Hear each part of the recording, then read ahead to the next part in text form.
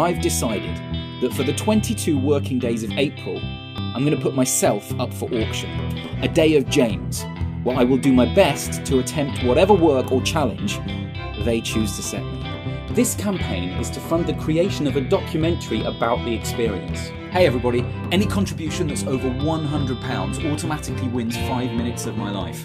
Our last supporter, our last big supporter, my namesake, James, he asked me, with his 5 minutes of my life, to write a story.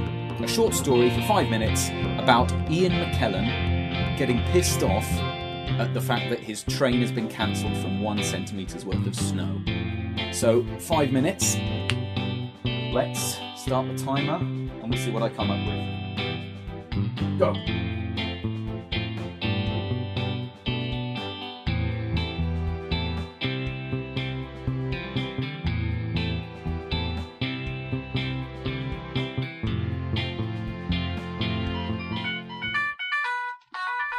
And there we go.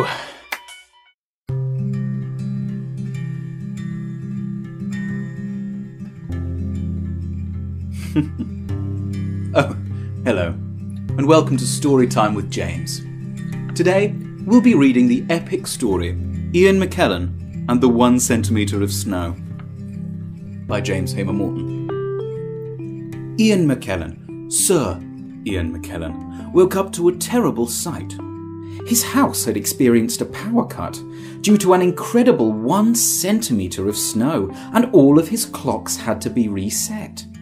Looking at his phone, he noticed it was 8:15, far past his scheduled time to wake up. And he had to be at work, King's Primary School, where he loved his job as a teacher. How he would mock his pupils by shouting, "You shall not pass!" At them. He rushed out of the door, getting dressed on the way, and attempted to start his car. Bloody hell! he cried, as he realized it was a futile effort. How else could he get to work, the next town over? I know, he cried. I'll try the train.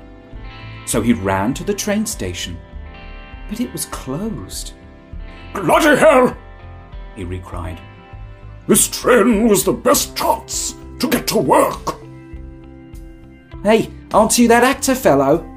No, you're thinking of Maggie Smith. Almost immediately, as he said the name, he realized Maggie had a very successful taxi company. He could call them. Sir Ian noticed that his phone was out of battery, having not had charge all night. Nearby, his friend, Sauron, the Lord of the Rings, resided. Would he allow him to charge his phone? No, he thought. There is only one Lord of the Rings, and it is not Sir Pa. How else could he get to work? Only one solution presented itself. He told a moth to summon a giant eagle and flew there, like before.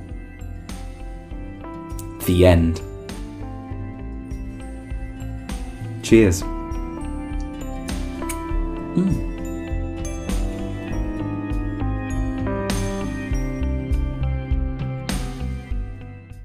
So please, every time you share it, every time you tweet the link to indiegogo.com slash bid for my life, every time that happens, you push us forward in the rankings, letting us be exposed to more and more people. So if you can even contribute one pound, that will be a massive, massive help. Thanks a lot. See you next time.